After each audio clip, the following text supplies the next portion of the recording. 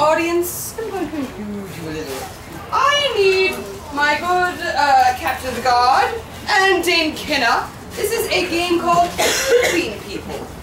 Now, I need two people, particularly light of touch.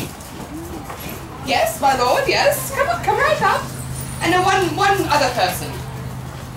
Yes, darling, come on. All right, so you are going to man Dame Kinna, and you are going to man the good uh, Thomas Swift. So they cannot move of their own volition.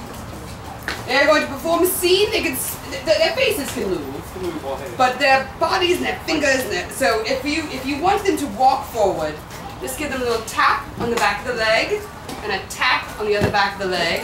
If you want them to move their arms, you place them thusly. Since you're a bit little, you know they can kind of help you out with that a little bit.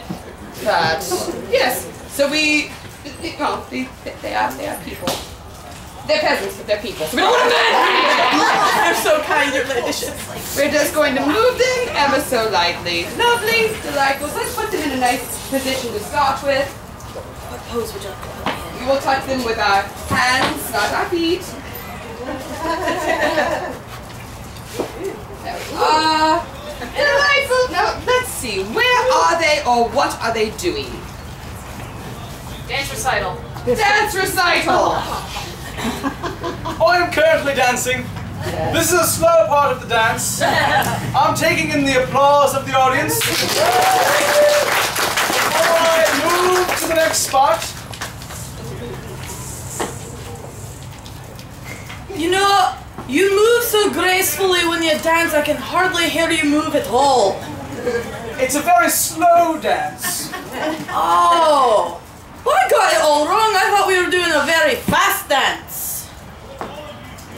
If I could only look at you so that I could see what you're doing, that would be. Oh, I see you. Wait a minute! Your costume's better than mine. Why are you walking away? Oh, you're coming back. I back. am That's so cool. cross with you for not sharing the spotlight. I will refuse to look at you. You In